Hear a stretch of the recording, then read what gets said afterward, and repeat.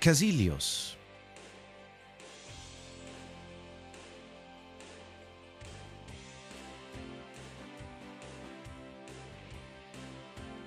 Casilius war 2010 Prämienhengst der dänischen Körung.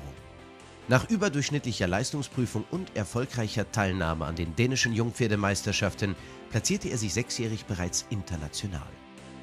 Ab 2013 unter dem Patronat der Ludger Beerbaum Stables kamen Siege und Platzierungen in den Youngster-Touren von Wiesbaden, Leipzig, Mannheim, Braunschweig, München, Lanaken, Verona und Rom hinzu. 2014 belegte er unter Philipp Weishaupt unter anderem Rang 2 bei dem Jumping Indoor Maastricht und Platz 3 bei der Global Champions Tour Etappe in Estoril.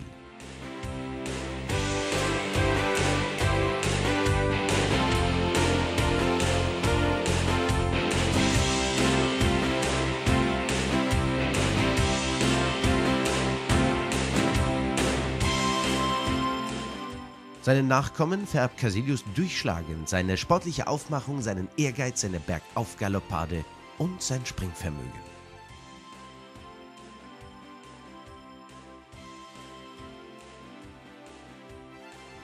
Casilius ist einer der erfolgreichsten der 46 gekürten Söhne des Holsteiner Verbandshengstes Casal Ask, der unter Rolf-Joran Bengtsson jeweils Einzelvierter bei der Europameisterschaft 2013 in Herning und den Weltreiterspielen 2014 in Caen war.